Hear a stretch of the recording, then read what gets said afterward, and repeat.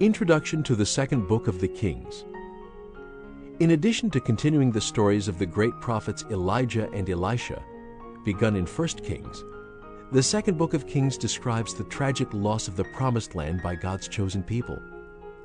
The land had already been divided into two kingdoms. Now both Israel in the northern part of the land and then later Judah in the southern part were carried off into captivity. Both kingdoms were warned continually by God's prophets that God would punish them if they did not repent of their sins.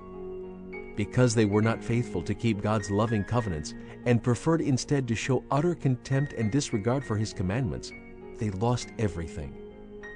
As you listen, note well that even God's patience has limits.